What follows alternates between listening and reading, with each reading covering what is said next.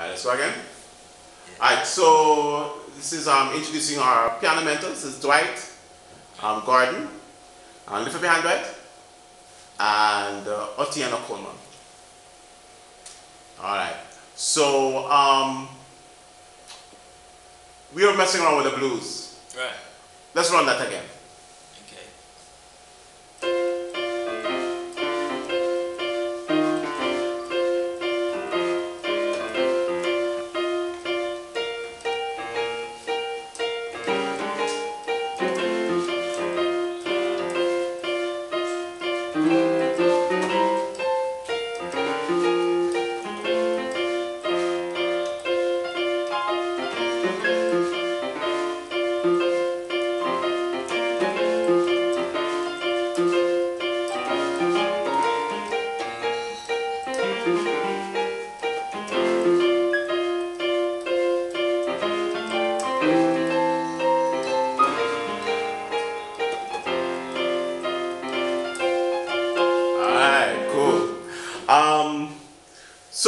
Both piano mentors at Avant Academy of Music, which means that you guide persons in their pursuit of learning to play the piano.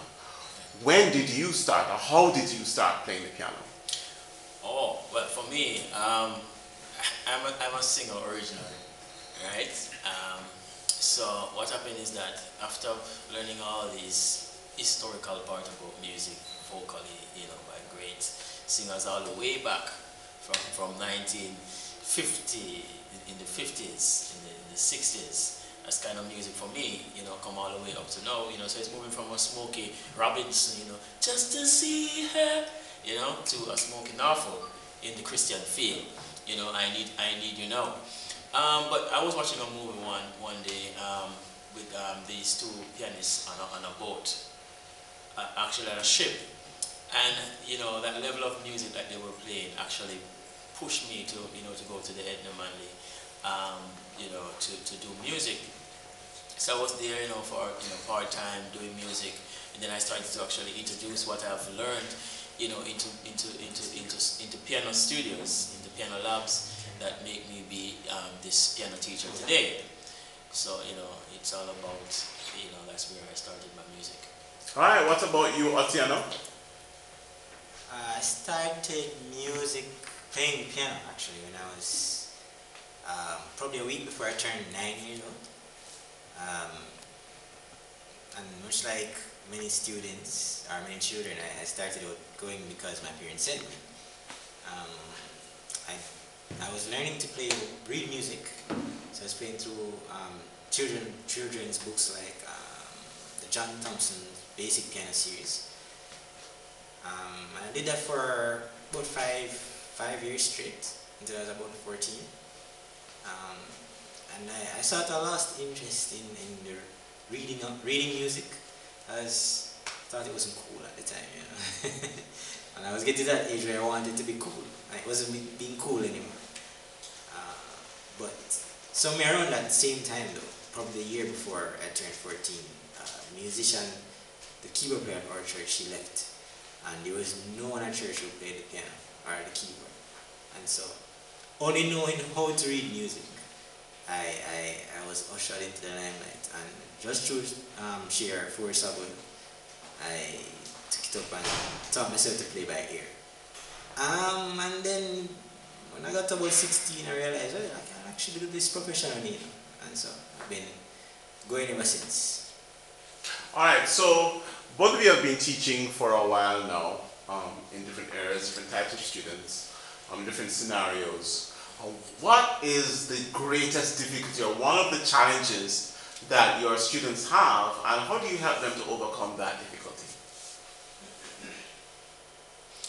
Uh, for me, um, in the classical field, right, in the classical world, um, um, having people setting um, students for exam, you know, one of the things is that our, our you know, back-to-back -back jobs sometimes hinder us from really practice as we want to. And some of us uh, didn't have much time for our kids, you know, so we just, okay, you know, music is just a, you know, a getaway kind of thing, just to have them, you know, doing something. But, but, but also, you know, they want them to actually develop, you know, more sense sense of humor when it comes to um, you know passing their maths exams and etc. etc. So, is the problem practice? Is it, is it is the challenge is finding so, so, time so to practice, practice? So, pra- so finding so finding time to practice is, is normally a major um, challenge for any student at all. Right. And um, and so therefore you know um, to, to get over with that is to allow them to to tell them not to practice too often.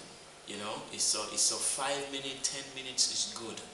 Once you have to once you don't want just be consistent about that five minutes, be consistent about that ten minutes you know, if you overdo it, your brain is going to tell you to stop. Okay, so you're discouraging them from trying to practice for hours. For hours, even for- though you like right. the instrument, even though you like the instrument, even though it's something that you love so much, you have to be careful. Your practice can actually, uh, if you if you practice too long, it's, it might just um, you know it might just throw you apart as a, as a music lover. So shorter, but more frequent Shorter, and more consistent. More, more, more consistent. All right. What about you, Otieno?